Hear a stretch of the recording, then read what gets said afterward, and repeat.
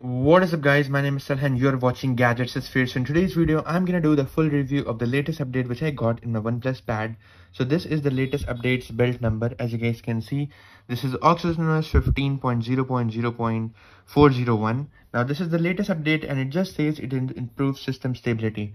So there are a lot of things I needed to talk about in this video. So stick around till the end. Let's get started. So first of all, I'm just gonna talk about the new system improvement which is actually the stability. So the new icons right now actually does look a lot more refined than before. This is actually the icon pack I'm using right now is if you go in icons, you guys can see we have an option called pebbles and that is what i'm using.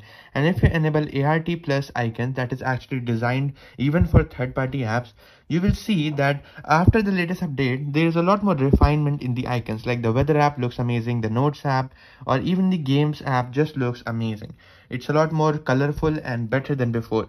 So that is one thing which you get in the new update. Then we have system stability. So what actually used to happen was while you use like youtube at let's say 100% brightness for maybe three hours continuously like maybe you're watching a lecture or something it actually used to heat up a lot at this area the backside but now since the latest update, the heating has completely vanished. We have no problems in the heating. But there is one thing which people complained a lot about is actually in terms of the battery life. And still if I would talk about the battery life, in balance mode, I still get 6 to 7 hours of battery backup. But with the high performance mode, the battery backup decreases significantly. So yeah, some people were actually right about the battery backup becoming less and I have also felt that. So it only gives around four and a half to five hours of battery backup in high performance mode. But honestly speaking, if you're just gonna watch maybe a YouTube video or maybe you want to watch let's say a movie from like Netflix or Sony LIV or like Hotstar, you don't really need high performance mode. I would actually suggest as far as to go in power saving mode. It will limit your display to 60 Hz. It might feel a little bit laggy, but the thing is, if you're gonna watch a video or maybe a movie for a very long time, you don't need more than 60 Hz because all the content is shot in 60 Hz at maximum. And most of the movies are shot at 24 FPS, which will save even more battery. So yeah, using the tab in balance mode and power saving mode is gonna give you a lot of battery life, which you will never have like got in this tab. But again, if you want to play games, then of course you should actually enable the high performance mode to get the best battery life.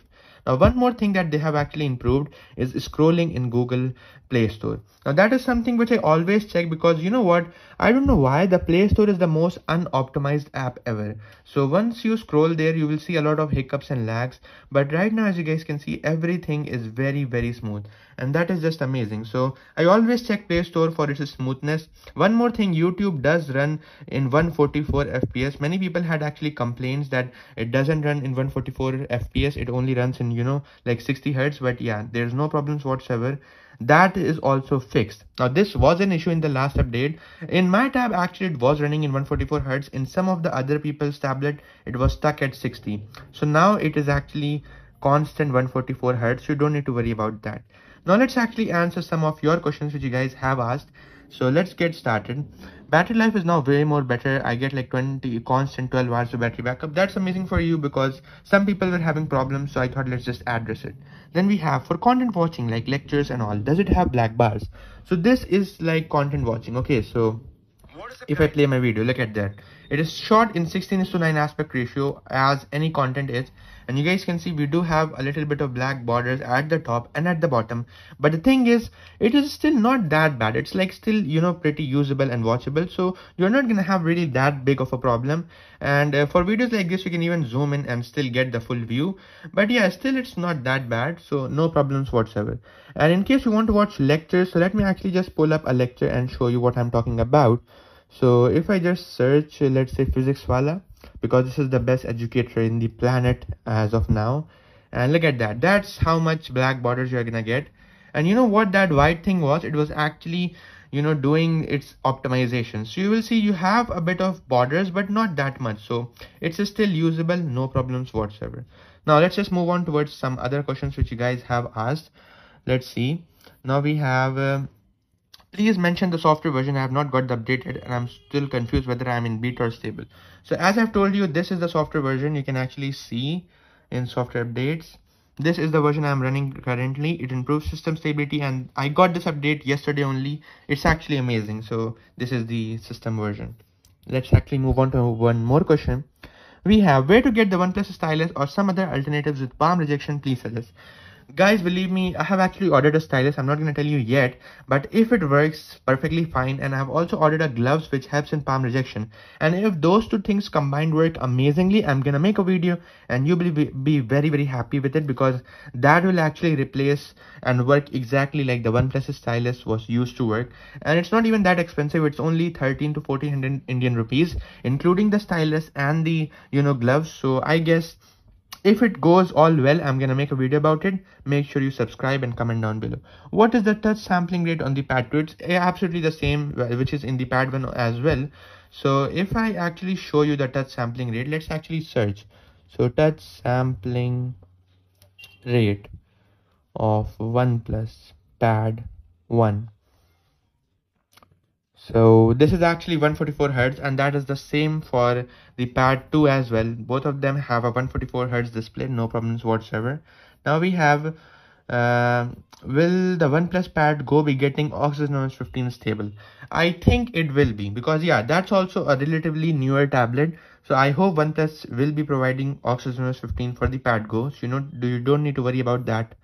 Now let's just go where do you get these cool wallpapers? Honestly speaking i just search the web and get these wallpapers like cool ferrari wallpapers and there you go.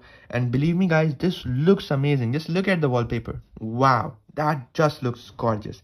And and this display with this matte you know screen guard it looks even more better. So i always told you guys do apply a matte screen guard. It's great for having a tablet like this. And uh, uh, dynamic island isn't working. I mean the fluid uh, whatever they call it. It's not working in my tab as well. Some people said you have to reset the app or something like that but i don't really care if it works or not so it doesn't really matter for me. How to open pdf in oneplus notes that i also don't know yet so yeah. And then we have i want to change my keyboard like you. So actually to get this split screen keyboard i guess a lot of you guys are actually interested in getting split screen uh, you know keyboard. What you need to do is you need to actually just tap on this option right this is the normal keyboard. We have an option here. You just need to tap here and there you go. Now this is a lot more handy to write things like this because uh, you know it's just a lot more reachable. So that's how you can switch keyboard. Thanks bro for the video. Love you habibi. I like uh, when you guys comment like this. Then we have Anyone who is buying it for BGMI won't suggest if you're looking for proper 80-90 FPS I have OnePlus pad and I get 40 to 50 uh, FPS when I when in even for like 10-30 seconds and then it gets to 70-80 normally. I don't know why but it also fluctuate FPS like crazy.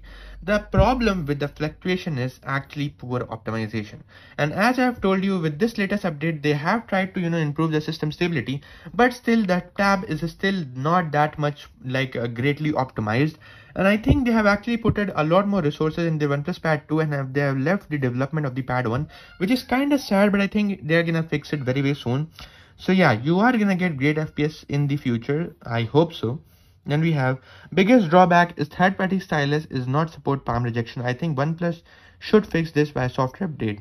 And if they fix it then this tab is unbeatable at 30k this is an absolutely great comment. And yeah i do appreciate it akash bhai because yeah you do need a great stylus support for this. And if you get a third party stylus support this pad is literally unbeatable. And you know in sales you can actually get this for as low as 23 22000 indian rupees.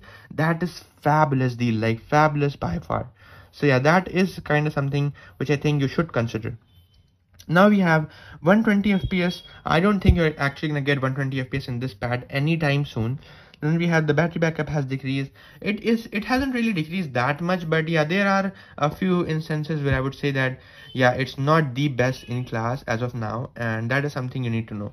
But this was pretty much it for today's video. If you have a lot more questions any other question query comparison you want with the xiaomi pad 7 or the xiaomi pad 6 or maybe any other pad do comment down below. And yeah that was pretty much it. Thanks for watching. Subscribe gadgets sphere these videos do take up a lot of time to make and it will be amazing if you subscribe it. That's it. Thanks for watching. I'll see you in the next one. And yeah i'm gonna bring this stylus video very very soon so stay tuned for that. That's it. Thanks for watching. I'll see you in the next one. Peace out